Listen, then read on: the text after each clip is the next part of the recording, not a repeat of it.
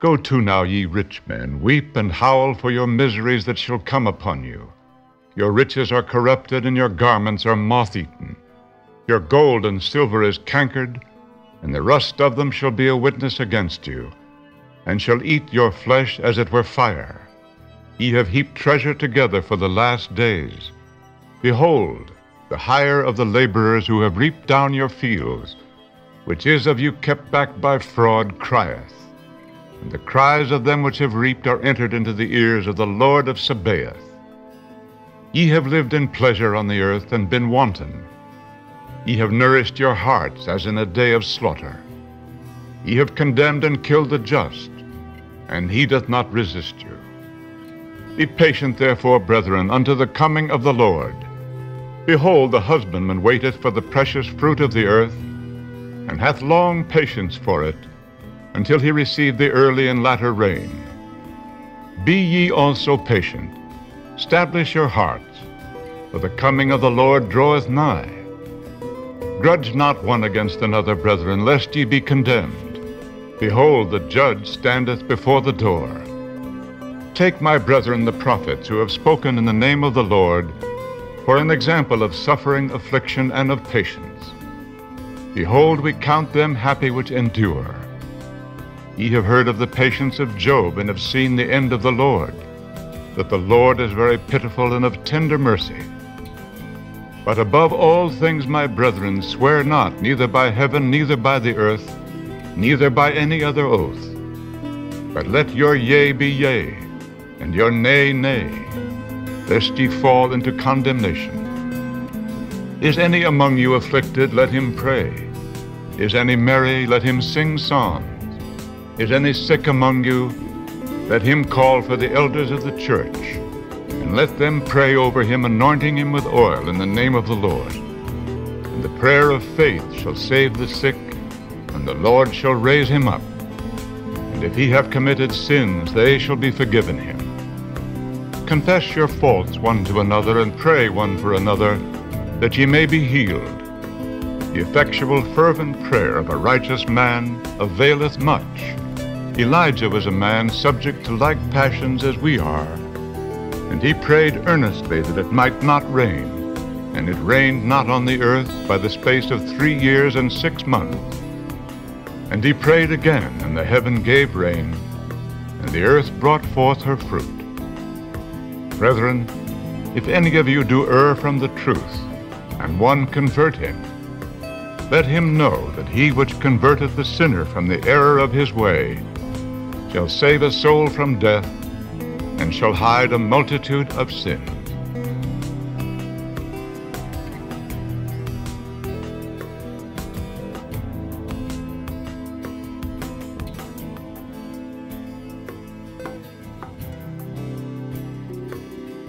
Greetings, YouTube. Greetings, everyone out there. Today, we are going to embark on a journey on the Bret Norman Broadcast Network on this Wednesday, February 13th, 2019. And we are going to do a session with Jörg Glismann in Belgium and also Daryl Eberhardt in Pennsylvania of another reading of the Divine Program of the World's History, a book by Albert Close, which I happened to find by doing a search for Henry Grattan Guinness with the same title.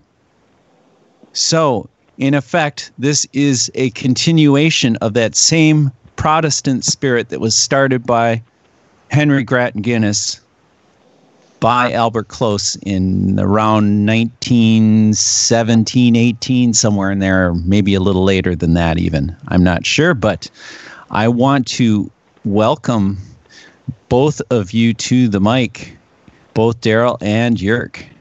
And should we start with Daryl first this time?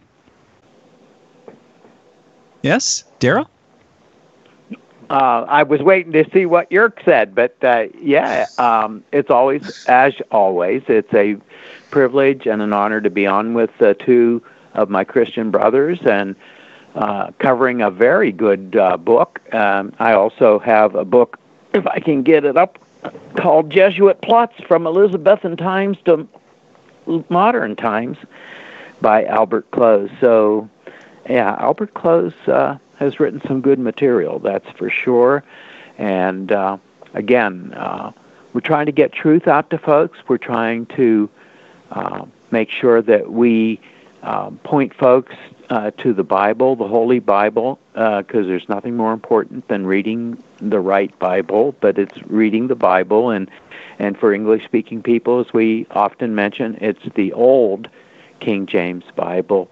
Uh, and I would urge everyone, and including myself, to get our noses in our our old King James Bible for English-speaking people, and read God's Word. And the Bible, uh, the Old King James, is based on the correct manuscripts, whether you're talking Old Testament or New Testament, and it's also translated as a verbatim word-for-word formal equivalence.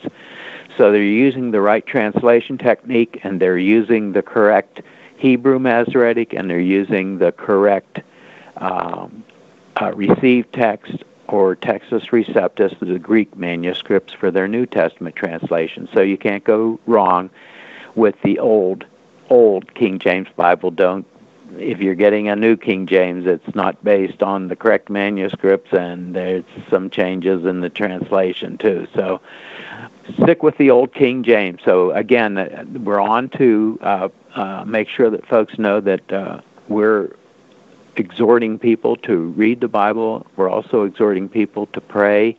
The Bible has a lot to say about prayer, and we need to be praying for um, those Christians are, that are exposing evil, such as Brett and Jörg are doing.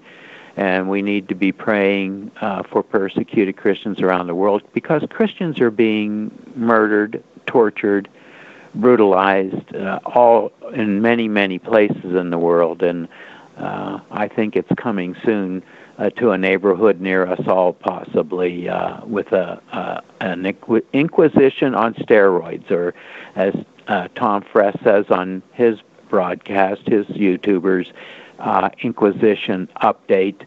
Uh, the Inquisition hasn't died; it still exists, and we need to be aware of that. We need to be aware again of all the reformers taking the position that they did, the historicist position that is spoken of by Albert Close here, as opposed to the preterist, the Jesuit sponsored, I should say, Jesuit orchestrated, Jesuit invented uh, preterist and futurist uh, positions. So good to be on with you guys and good to be covering Albert Close. Wonderful. Thank you, Daryl and Jörg.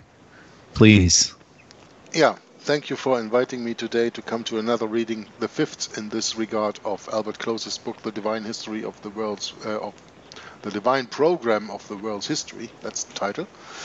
I'm very much looking forward to it. and I just want to tell our listeners once again, because this is a so uh, so manyest video they are watching in these series, because I call it a series because it started off with uh, reading the book that you miraculously found in your um, library there in uh, Minnesota, where you are living, about uh, the book from um, James Aitken Wylie, The Great Exodus or how uh, the, the times of the end, or how near are we to it.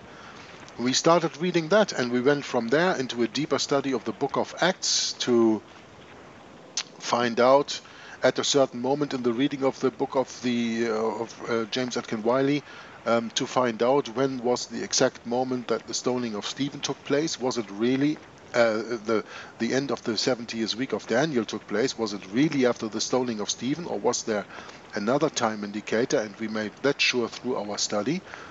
We are still continuing that study in the book of Acts because of our brother Michael, who is very much um, in need of that kind of Bible study. But then we went on reading in the Great Exodus until we came to another point that we said now we have to look a little bit deeper into this, and that's brought us to the book, The Divine Program of the World's History, the, what we are reading right now. And this is already here, the fifth reading today.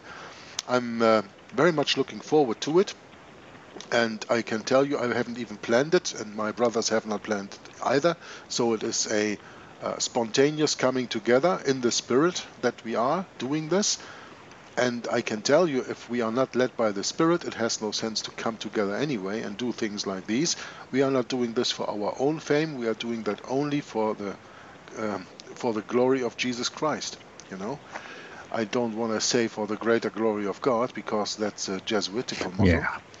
But uh, it's a shame that they stole an expression like that because it is all for His glory. You know, um, uh, it's it's um, I. Uh, Oh, there's, Yeah, there's you're- a saying in the Bible. I just can't get to it right now. Um, Oh, I'd love to make a comment because Oh, I was please. thinking along the same lines, brother. Because um, you know this, uh, we were talking right before the broadcast here, Jörg, and you were mentioning that uh, that uh, Christendom is uh, something that. Uh, I mean, you can either view it one of two ways, right? I mean, you you either you view it as the true body of Christ or you view it as the false body of Christ. And sadly, sadly, very sadly, I must say that every time I hear that word Christendom, I always think the false body of Christ.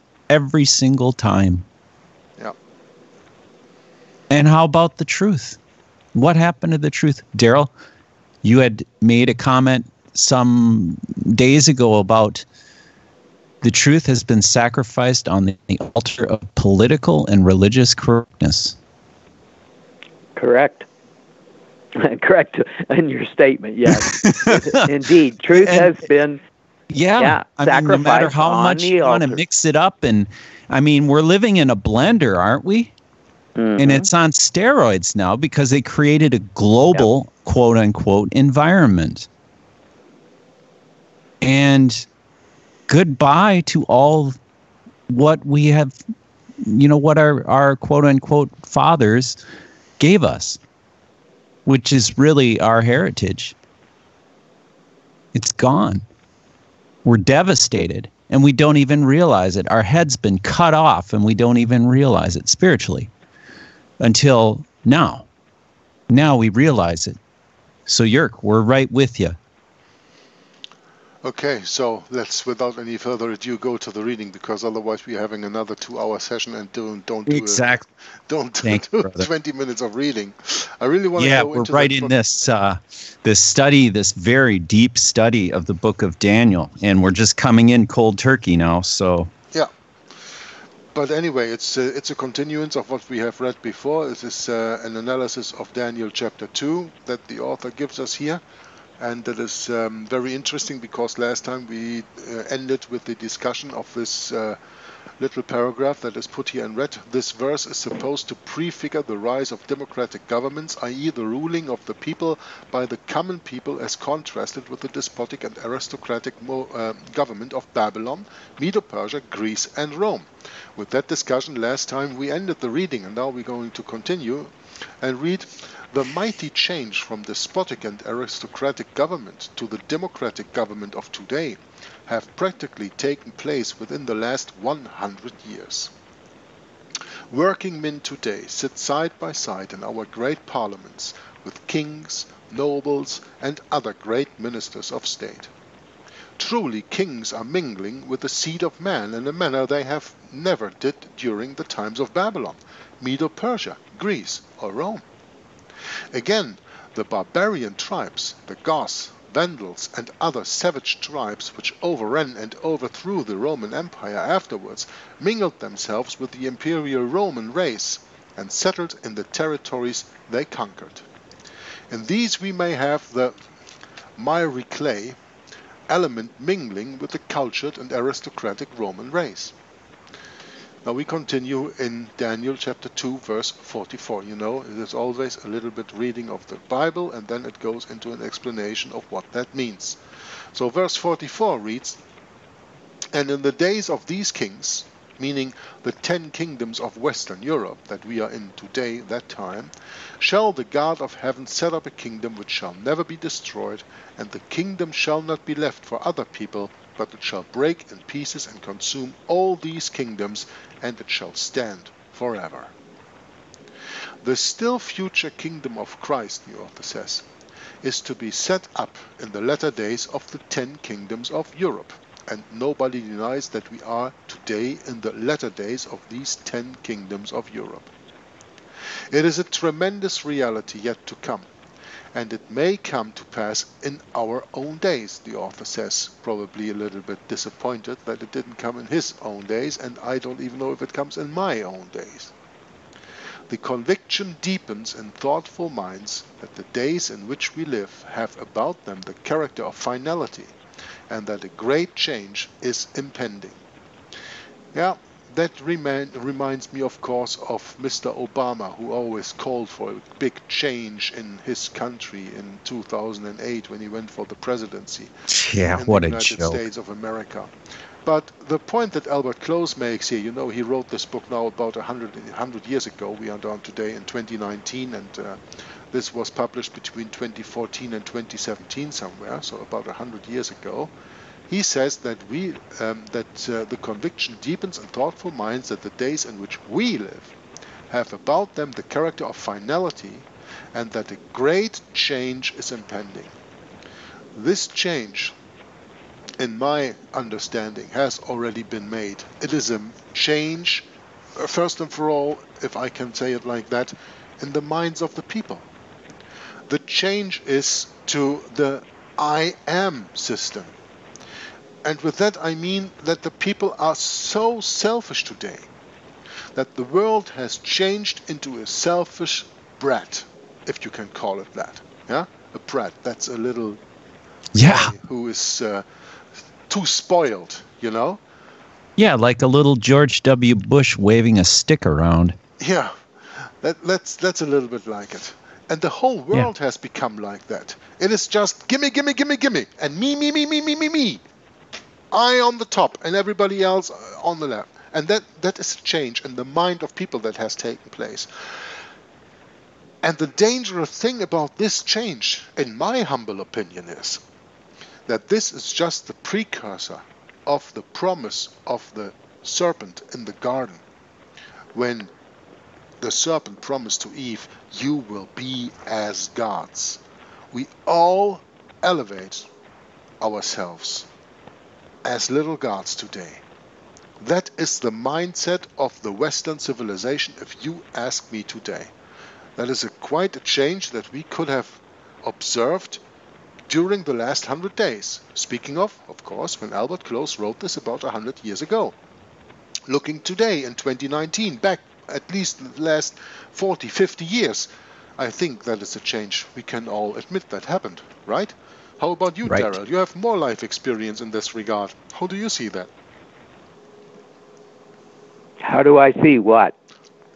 um, the point that I just made is that an, uh, a change that has been made in our civilization, in our uh, consciousness, and I don't speak of Bible believing Christians, of course, who, who are just a mer- very, very, very small minority, but the overall sentiment of the societies that we are living in that it is only about me, me, me, Yeah. myself, I, myself, I want this, I have to have this, and if I don't get it by myself, then the state has to get it for me. So I'm lured into communism. I'm lured into a state-supported system, and Mhm. I, uh, I elevate myself not I myself now, but you know, speaking for the society, I elevate myself above everything else because I don't need a God, I don't need a savior, it's me. Isn't that something that you can support That's- with your little bit more life experience that you have than I, that you can confirm what I say? don't rub in how much older. no, no, I am agreeing a hundred that one. percent.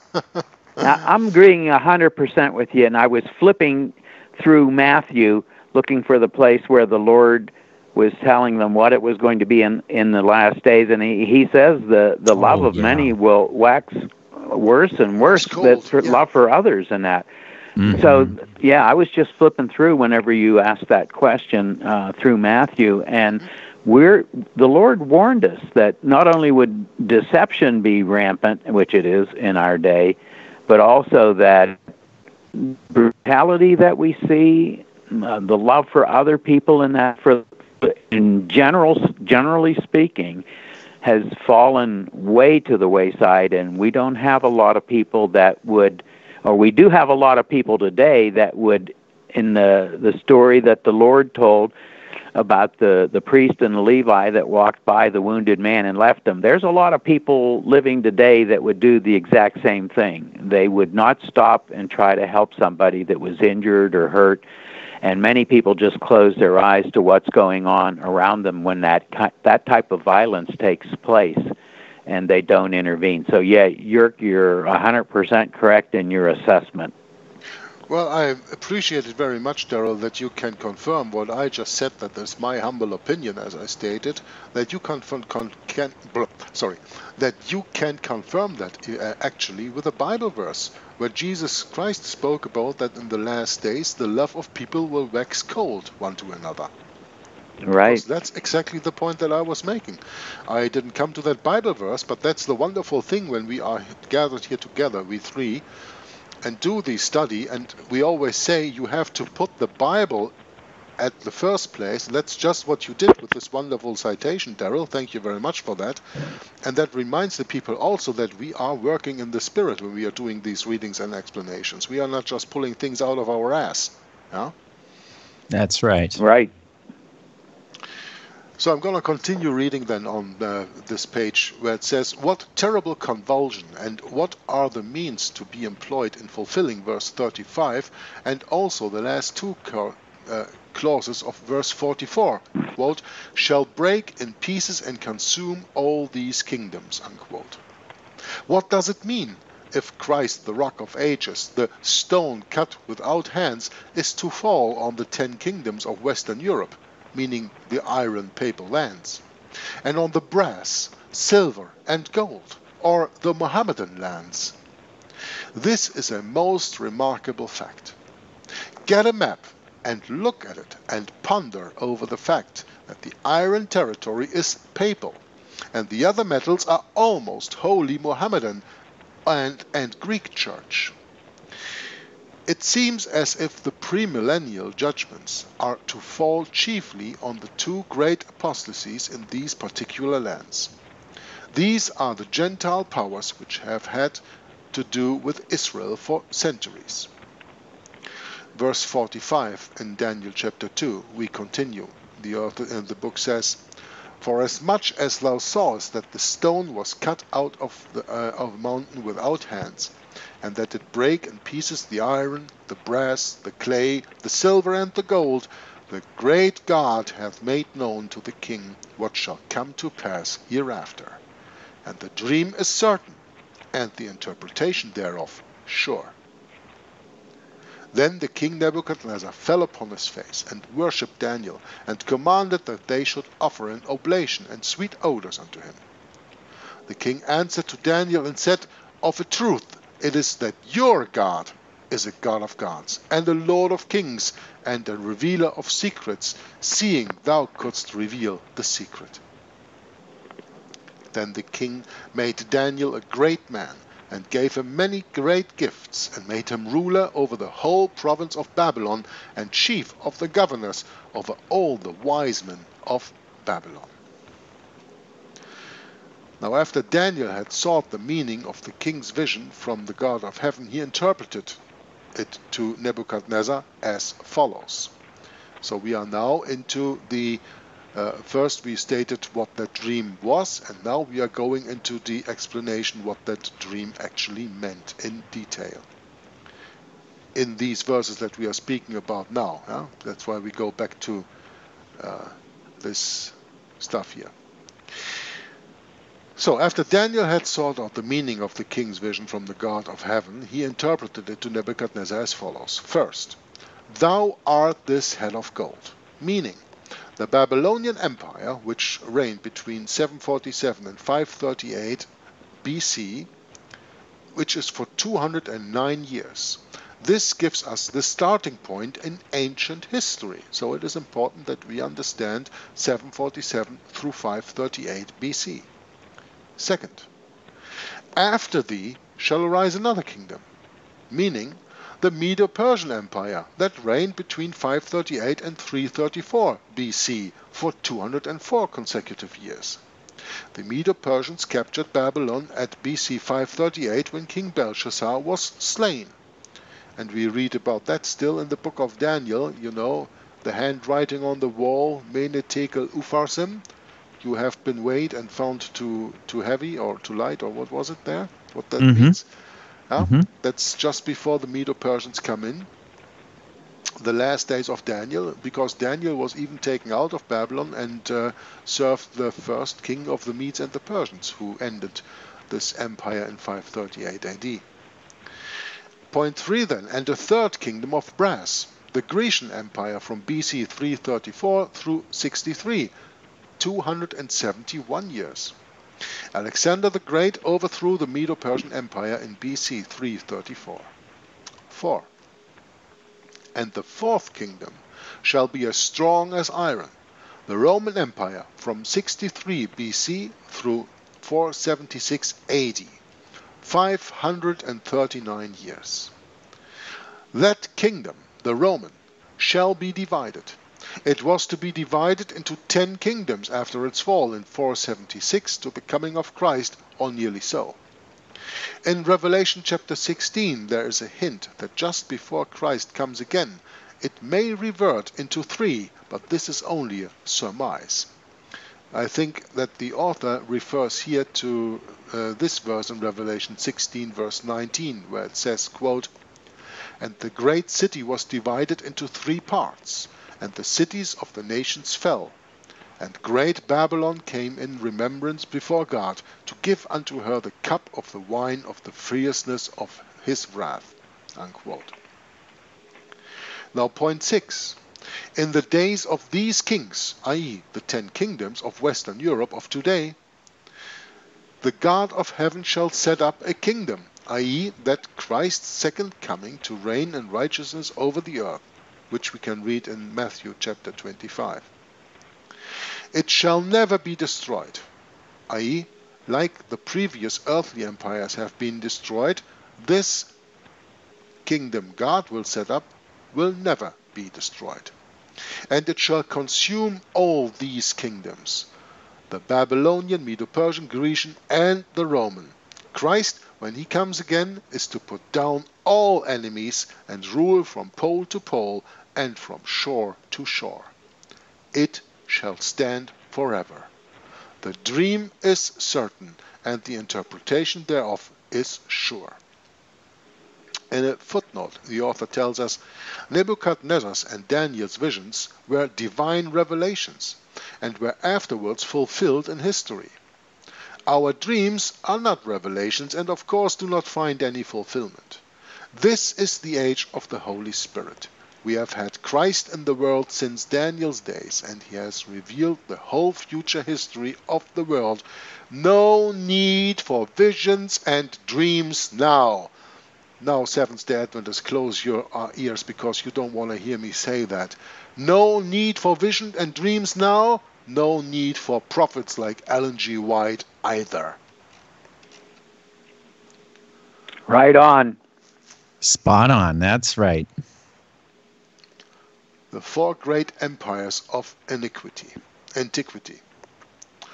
A succession of four familiar, uh, four, sorry, a succession of four similar universal earthly empires was here foretold to Nebuchadnezzar, and that they are to be followed by a fifth, the empire of stone. The first four would be established and ruled by selfish, sinful men, the last by the God of heaven. The first four would be destroyed, the last would destroy all of them. The first four would be smitten and broken in pieces, the last, the kingdom of the rock of ages, would never be destroyed. The first four would form one great image, the last would become a great mountain and fill the whole earth. The first four would be consumed and carried away, the last, the kingdom of the rock of ages, would stand forever. By the universal consent of the great scholars and divines of the Church of all ages and of all sections, the first four are allowed to be the Babylonian, the Medo-Persian, the Grecian, and the Roman empires, and the last, the still future kingdom of the Son of Man, when Jesus Christ and his saints shall reign in righteousness over the whole earth. This vision doubtless presents us with a brief historic outline of the four great empires of ancient history which have in succession ruled the, ten, the then known world. It presents the last of the four, the Roman, in two successive stages. First, as legs of pure iron, secondly, as feet and as toes composed of a mixture of iron and clay, representing under these emblems first the Roman Empire in its undivided imperial strength, and secondly, the same empire in its tenfold divided condition. Where we can read in Mark chapter 2 verse 24, quote, And if a kingdom be divided against itself, that kingdom cannot stand. A common futurist objection is that the historical interpretation finds all the ten kings in the western division of the old Roman Empire and none in the eastern, as if ten toes were on one foot. This objection is based on a pure assumption and betrays besides a superficial study of the prophecies in question. It is assumed that the two legs of the image represent the eastern and western divisions of the Roman Empire. This can be very distinctly disproved. It is true that the Fourth Empire is represented by the two legs and feet of the image. But it is the entire course of the empire that it is so represented, not the brief stage of twofold division which occupied only one century of the twenty of Rome's history. The Grecian Empire which was never twofold, is similarly represented by the two thighs of brass. And we read here in the footnote, had the division of the Roman Empire into Eastern and Western taken place in the parts of the image represented by the two thighs, this argument would be reasonable, but it is not so. The thighs branch off in the days of Greece in 334 BC. Again, the ten toes grow out of iron and clay portion of the image, not the brass, the silver or gold portions. This is very important. The Eastern Empire of Rome belongs to the gold, silver and brass territory. The Western belongs to the iron. Now, we go to the maps on the following two pages, 18 and 19, and we will analyze these a little bit because my brothers have the same map before their eyes and they can uh, study with us these maps on page 18 and 19 that's coming up and another one on page um, 49 that we can go to later on. But it is about these two maps. So we see here on the left hand side we see the man figure, Babylon with the head of gold, the shoulders and the breast of silver presenting Medo-Persian the thighs and uh, and the uh, the thighs and uh, what's it? the tummy. Um, oh, breast. Midsection. Yeah, yeah, yeah. Okay. and then you have the Roman Empire, the two iron legs and the feet mixed iron with clay and we have the times that we spoke about here next to it so that you can see that easily. And then we have a little description here that is out of the book of Daniel right next to it. So um, it is probably a little bit difficult to read that uh, text next to here. But then we have another map on the on the right hand side where we can see um, the world as we know it. Uh, we see the uh, Babylonian, we see the Persian, we see the Grecian, and we see the Roman empires right here. So these maps can help us in understanding what we have just um, been told. Now I have to see if when I turn this around, um, just a second, that I can read this little text that is uh, put here in between. It says here the date of the book of Daniel, uh, going over the date of the book.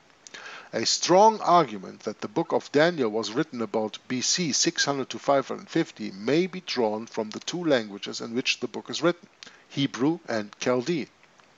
Both were familiar to the Jews and to the Jews only.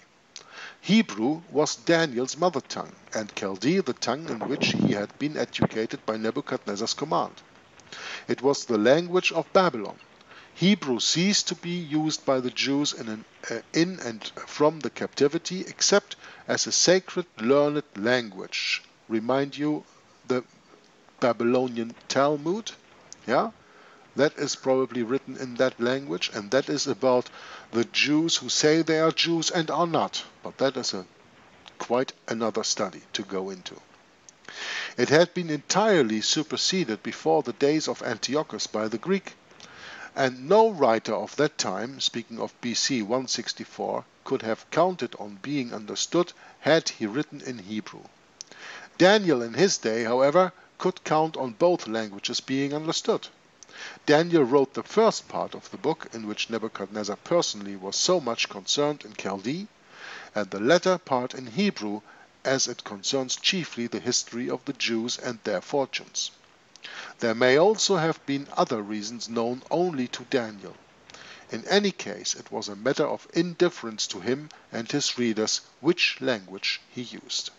So here we have a little bit better the map now in picture and we see what we have figured here as a figure of man. We see it here put into uh, the distinctive lands. Yeah? We have here the silver the Persian that is over here. We have here the Babylonian gold. We have that here. And then here we have the Grecian brass that you can see here. And here is the iron, the iron of Rome that is all over here. Everything here is Roman. And uh, in Germany, it's it's very important. the the border is the Rhine, and I live I, I live and was born in that part that was eastern of the Rhine. That was not Roman territory wow, that's really interesting. Yeah, yeah, it is because from very there, close though. yeah, from from there comes the miry clay, yeah, the barbarians. Yeah. Uh, yep. Who uh, the Goths who overthrow Rome, and uh, because that were mostly Germans, in my little understanding as I have of that history for the moment, that needs to be further studied by myself and by by others maybe too. Um, that is also the reason why the Germans are so hated by the Roman Catholic Church on one hand, and on the other hand, so venerated. Because, you know, during the time of the Holy Roman Empire, uh, the time of the 1260 year reign of the Antichrist, uh, the emperors were always Germans. And these Germans were descendants of the Goths who overran the Roman Empire in 476 BC and, and, and threw it off threw it off the throne. So, but on the other hand, um, yeah, Germany is also very Catholic, Roman Catholic, uh, at least in the south. So that's quite another interesting story to, to go in and, and, and study for another time. But do any of you, Bret or Daryl, have any remarks to make about this map that I'm showing here in the video right now? Because you have it open before your eyes. Maybe you want to do some explanation or some give us some insights uh, how you see whether the statue of the man of Daniel here or the or the map that we have here in the picture right now, then I please leave it up to you guys. No, I think both maps are very good representations, and and you've described described them quite well, Jörg. I agree. Okay, then we go back to the book text. I just have to turn that around now again. Nice. So that we can read this. Let's see where we took off. Um, I was reading the footnote, right? That is on the top of the page here. So we ended with the first paragraph. So, what do the two thighs in the history of the Grecian Empire symbolize? Futurists are silent on those points. Okay, but we are studying historicism. What does the author have to say?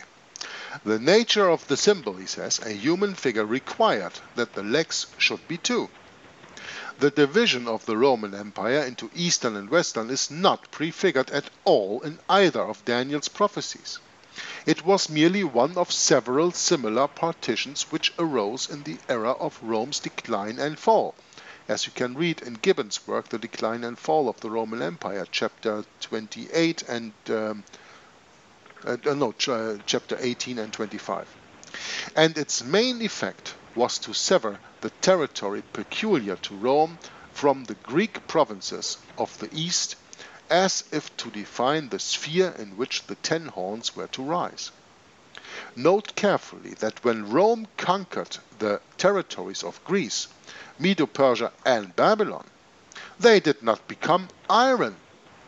They still remain brass, silver and gold to the end, as the stone breaks iron, clay, brass, silver and gold to pieces together.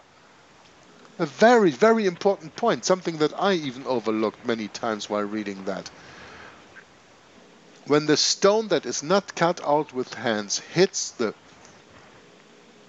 metal figure in the feet that are made of iron mixed with clay, it destroys the iron, the clay, the brass, the silver, the gold, and it all is like from the wind of the threshold blown away.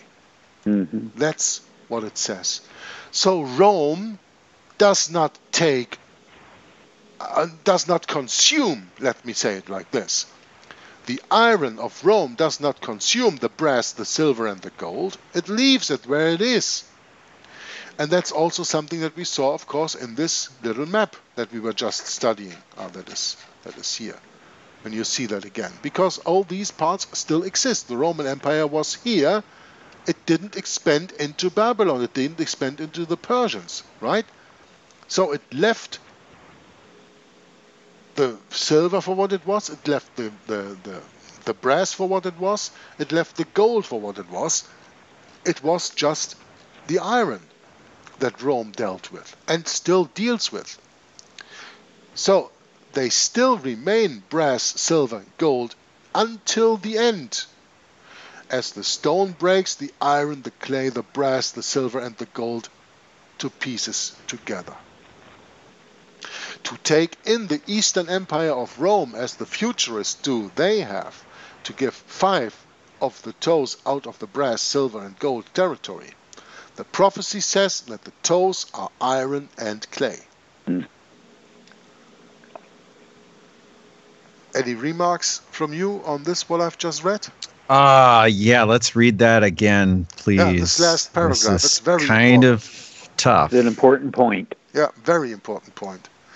Note carefully that when Rome conquered the territories of Greece, Medo-Persia and Babylon, they did not become iron. They still remain brass, silver and gold to the end, as the stone breaks the iron, clay, brass, silver and gold to pieces together. Because if they if Rome had consumed with its iron the um, the uh, brass, the silver and the gold, the stone could only destroy the iron in the end. But the Bible says clearly that the stone destroys them all. That means that Rome has maybe usurped these empires but not eradicated them. That's why we also say that Rome has its roots in Babylon, right? Right. Iron has its roots in the gold. Yep. And that's what the author tells us here. The gold is not gone. The silver is not gone. The brass is not gone. It is still there. It is ruled by iron now, but it is still distinctively there. And that's why when Christ comes and the stone, not cut out with hands from the mountain, hits the figure in the feet of iron and clay, it breaks into pieces, in- into dust, the iron, the clay, the brass, the silver, and the gold. To take in the Eastern Empire of Rome as the futurists do, they have to get five of the toes out of the brass, silver, and gold territory. But the prophecy says clearly the toes are iron and clay.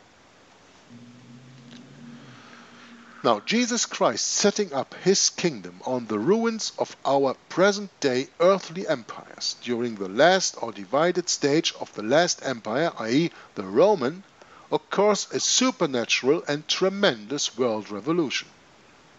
All the previous changes when an empire fell had followed each other on the ordinary and natural course, and the kingdoms were in some sense a continuation of each other, for for the great image is one. But this fifth and last kingdom, yeah, that stone not cut out with hands, that is no part of the image, that owns a supernatural origin, smites the image on the feet, i.e., at the end of its history, grinds it to powder, takes its place, blots it out of existence, and fills the whole earth. This fall of the stone cut out without hands must symbolize something immensely more important and fundamental than any political change the world has ever seen in all of its history.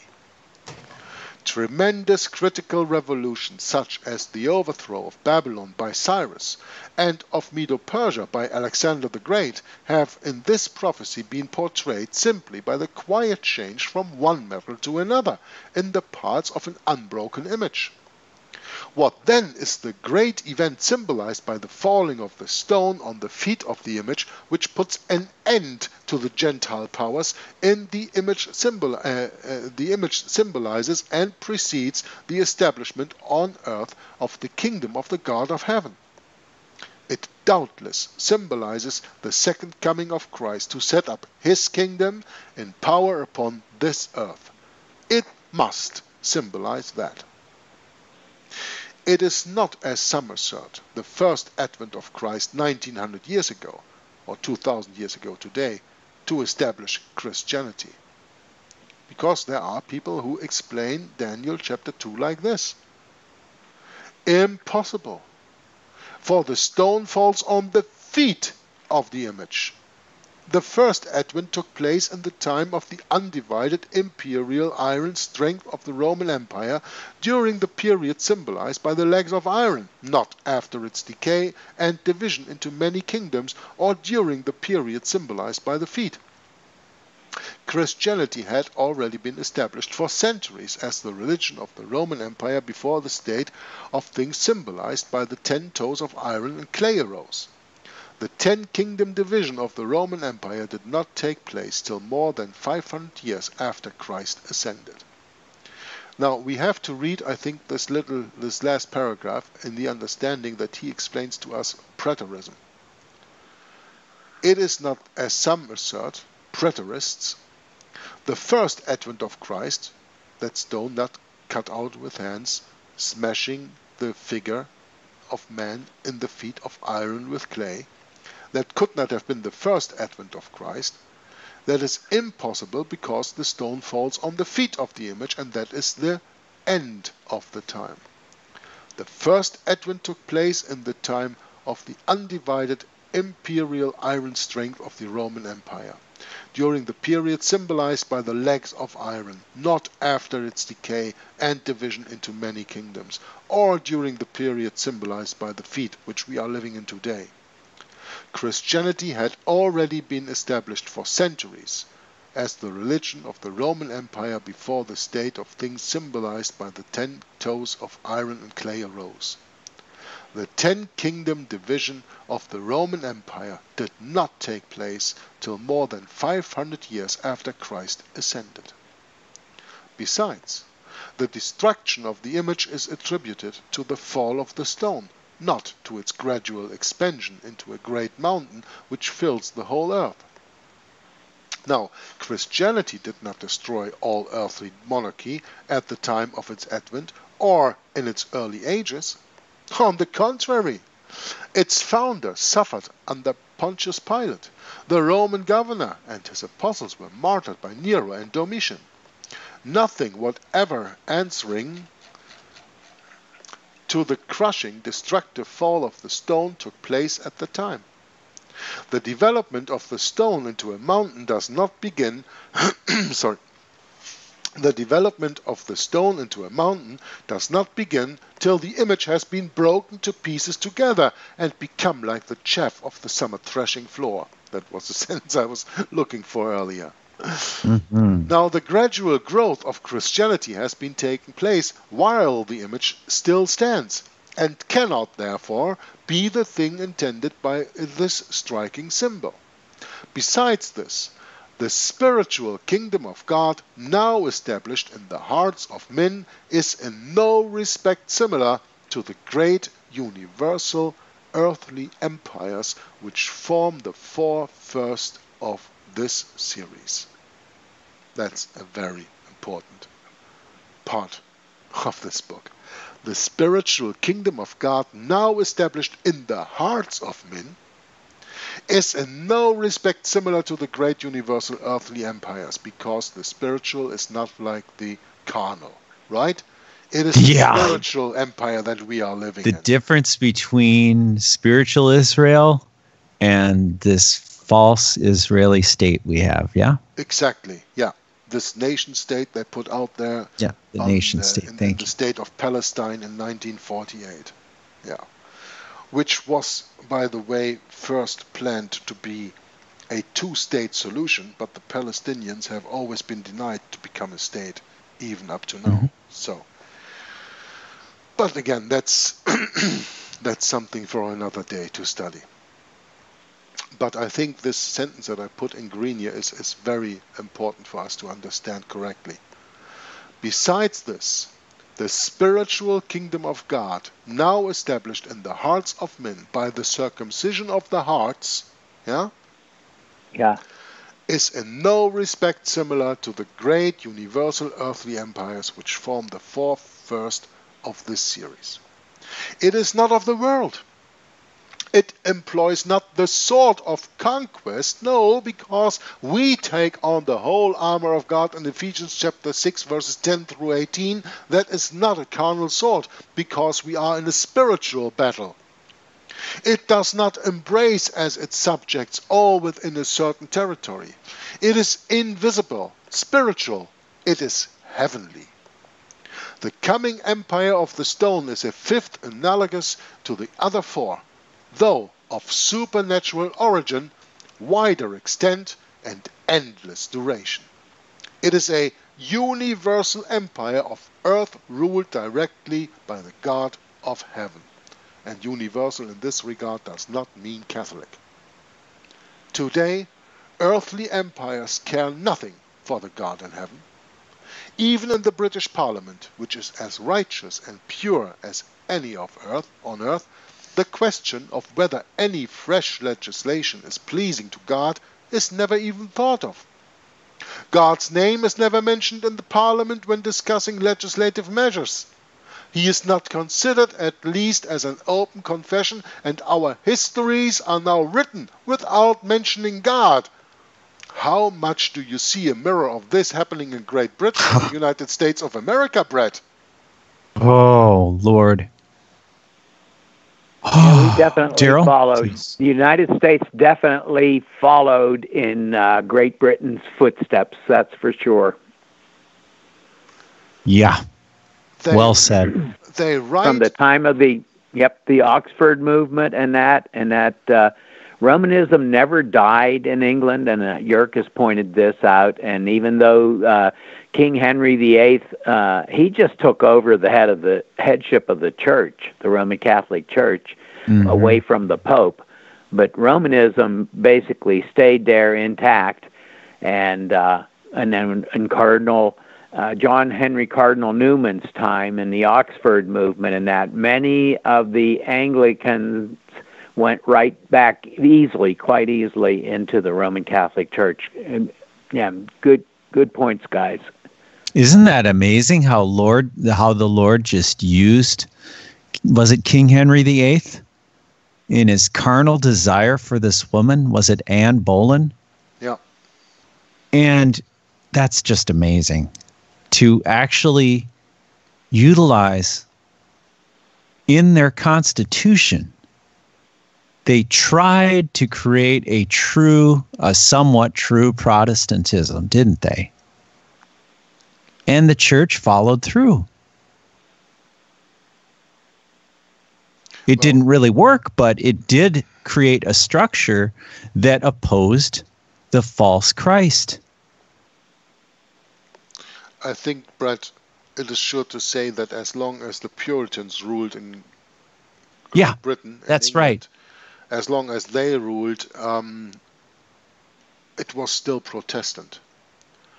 But at the end of the 18th century, beginning of the 19th century, they gave that up. and that led into the Emancipation Act of 1829 yeah, that we spoke right. about earlier. That's right. And that's that, right. And that led to the rise of the um, Oxford movement, which had its uh, main movement between 1833 and 1845. Now, think about this 12 year of time 1833 to 1845 Oxford movement. 1933, 1945 Third Reich in Germany. Do you think oh, that is a man. coincidence? Wow. no, no, no. No way, no way. But, you know, when that Oxford movement hit, that brought all of a sudden authors like Henry Grattan Guinness, James Aitken Wylie to the top. And they wrote numerous books against the Roman papacy, and especially Henry Grattan Guinness in his wonderful, wonderful work, Romanism and the Reformation, gives a warning, even he says so in the beginning of the book. He gives a warning to the Protestants of today, to the young generations of today, speaking of 1888. And you can, of course, transfer that into 2019, where we live in today, to warn them of the Roman deception that is all over, over, all over them. James Aitken Wylie did that with Rome and Civil Liberty. James Aitken Wylie wrote a three-part volume of the history of Protestantism. He wrote so many interesting books, among others The Great Exodus, which we are still going to study in the future. But now, for the moment, we are kept here with the book from Albert Close. And we ah, yes, Jörg, I've got a comment. Yeah, got please. a comment. I just wanted to say just, that we come to a close, but uh, yeah. Please. Yeah, we should definitely, and I think we should maybe um, mention the fact that uh, this is very much the spirit that Jörg and I have felt about studying uh, this book, The Great Exodus, or The Time of the End, How Near Are We to It, is that that title that James Aitken Wylie used for that book is so fitting for the times we live in today. I think it's drawing some attention. And not just for the weak at heart for and those also, like it's us. Also, it's also fitting, Bret. Sorry to interrupt you here. It is yeah, also please. fitting for the time when he wrote this. He published yeah, that that's book right. in 1862. That is some 30 years after the Oxford movement took off. That is a warning to the people that with the rise of Catholicism again in England, it is now coming to the to the closing of time. It is now really coming to the great exodus, to the time of the end. This is yes, last, so we this is hmm. the last coming up of the power of the Romans again after they have been defeated by the Reformation, after they have been defeated by the Puritan government in England, after they have been defeated by the reign of Prince uh, of, of, of, Queen Elizabeth I, of, of um, uh, James uh, James the First of England, the sixth of Scotland, who gave us the King James Bible, and all the times in between when they had fights and fights against Charles uh, and uh, against the two Charles, and then they had this glorious revolution in 1689. Remember? Mm-hmm. And from that mm-hmm. time on, the Puritans ruled there until the Jesuits got their way and decapitated the 13 colonies from the from Great England, uh, from from from Old England, Great Britain. I wanted to say not Great England. Yeah. From from yeah. from Great Britain, and by that they had their little part where where they could play their politics out, and they did that ever since 1776 out from the United States of America, now ruling all the world on behest of the first beast of the Vatican, and um, they are going to be doomed too because the Americans have not a Roman Catholic Church, but they have an American Catholic Church that is full of liberals and Rome hates liberals and will persecute liberals as she did in the past, and she's going to do that again. And that Inquisition is coming up to your side over there in the world, United States of America, as it has been here already now some 80 years ago with the Third Reich of Germany that eradicated Protestantism over here.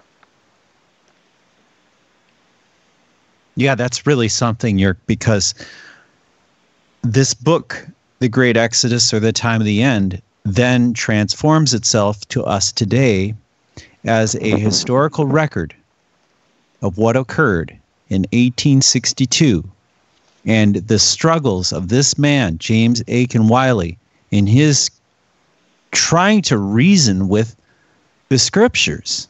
So we're looking at his account, although he does have flaws. Any of us would have the same flaws, or worse, or better. I don't know. Lord knows. But isn't it interesting? Sure is. I didn't keep the clock here. It's uh, oh, 56 minutes. Okay. So. Um, yeah, this might be a good time to close it down, huh? What do you guys think? Yeah. Yeah, we ended here in this uh, in this paragraph, right? Without mentioning God, yep. so that there's yep. no mentioning of God in the parliaments anymore. Yeah, I wanted I wanted to say to this little point, Bret, and uh, that's my closing remark. Then I give it up to Daryl and to you for the finishing words. Um, you guys have uh, on your dollar bill standing in God we trust. But except for that little mentioning of God, where is God to be found in the Constitution of the United States of America? Where is God to be found in the Bill of Rights in the United States of America? That is something that I always oh but the problem ask you're myself you know it, it's just mm-hmm. no listen it's it's mm-hmm. just the mm-hmm. point please um, it's uh, it's just a statement that is there but you can print on paper everything you want you know? It doesn't it it, it, it, it doesn't have any power with it. Only right. it's all vainglory. it's yes, vainglory. it's vainglory and these words are not empowered. In god we trust yeah okay. The german uh, uh, uh, party that rules with Angela Merkel already since 2005 or 6 or so. Uh, calls itself the Christian Democratic Union, and we all understand, of course, that it is the Catholic Democratic Union. Mm-hmm. Germany is not Christian, it's not a Christian country anymore. It is a Christian country by name, maybe, but it is not a Christian country in the heart. Belgium is not a Christian country in the heart. Italy is not a Christian country in the heart. There is no Christian country in the heart all over the world wherever I look. And that's why it is time that we are awaiting the stone not cut out with hands to come and smash the image of Daniel chapter 2 in the feet mixed with, ivory, uh, with miry clay and bring it all to an end because there is no real true Christianity left here on this earth except for a few people who still hold to the truth, mainly through reading the Bible, the 1611 authorized version of the Bible in English, and very, very few people still really do trust in God. As you can put on every dollar bill as much as you want, but it is just a shame that you put it on there. It has no meaning. But you have to put your trust in God through the Bible, reading your Bible, studying your Bible, living your Bible. Because the Bible mm-hmm. is the living Word of God and it empowers you with life. Otherwise, you're just yep. dead. You want to be quick or you want to be dead? I want to read my Bible and I see you next time. Maranatha. I leave it up to Bret and Daryl. Yes, and uh, probably Daryl first, right? Yeah, go ahead, Daryl, please. Well, I'm just uh, in 100% agreement with what Jörg has just said, and uh, again, as we pointed out on the previous one of our previous YouTubers, I think the one's the one most recent that that the Bible indeed is the operating manual for the human soul, and we need to to walk our way through the minefields of life, the Bible provides the light. And, and, we're, and when you read in the Psalms and that, you, the, your word is a, la- a lamp, a light to my path. And uh, we don't, we're, we're living in a world of darkness, and we need that the lamp, the light that comes from the Bible, the Holy Bible. And uh, I would just like to say one thing in passing, and, and that is I want to ask folks to get the book Antichrist Exposed. It's a two volume book set Antichrist Exposed The Reformed and Puritan View of the Antichrist by Dr. Ronald Cook. He's, a, he's at least 80 years old, maybe a little older, having um, some medical problems. and uh, he and his wife Sharon are back there at Breckville Bible College. It's called uh, the ministry is called Truth International Ministries, and I would urge everyone to get those two two books because you're talking about over 700 pages, uh, telling what uh, the Puritans. Uh, the reformers, what they all had to say about the Antichrist, and they all identified the Antichrist. He even gets into uh, what various early Christian groups also presented as their view on the Antichrist. And those books are available, and uh, the phone number is, and they're in uh, Max Meadows, Virginia, 276 637 3727. I'll give it a second time 276 637 3727 and urge everyone to take advantage of uh, while they're there at uh, Max Meadows, Virginia, back from a, a, a vacation and that, and they do have spring break and the summer break and that for the college. So, if you would like to get those books, now is a good time to get them, and that uh, gets uh, something that a man did a lot of research on, and that's Dr. Ronald N. Cook. He did a lot of research in putting together over 700 pages in that two volume book set telling you the Reformed and Puritan view of the Antichrist. And uh, we all know who the Antichrist is, and the Bible very clearly lays out who the Antichrist is in the book of Daniel and the book of Revelation, chapters 13 through 18, makes very clear, vividly describes uh, the qualifications for the office of the Antichrist.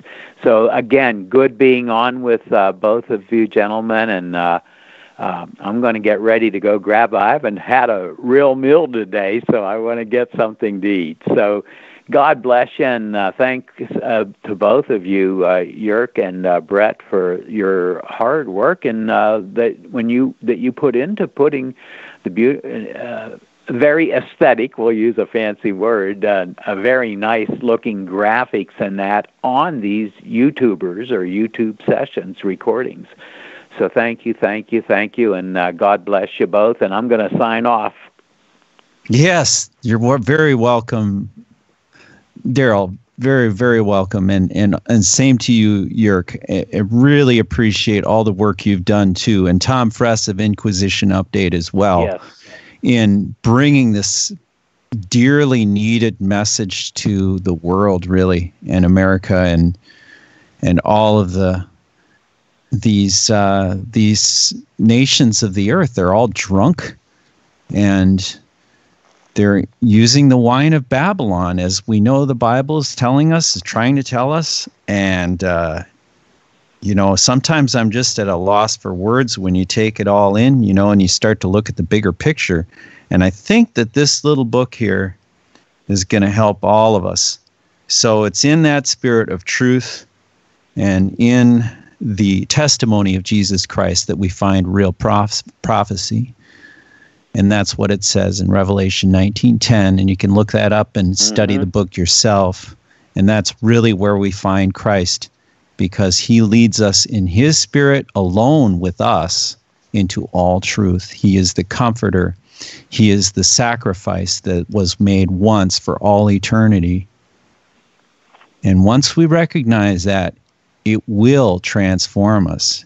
Be ye not conformed, but be ye rather transformed, as the Bible says, right? I can't remember the rest of that verse, but at least I got that far.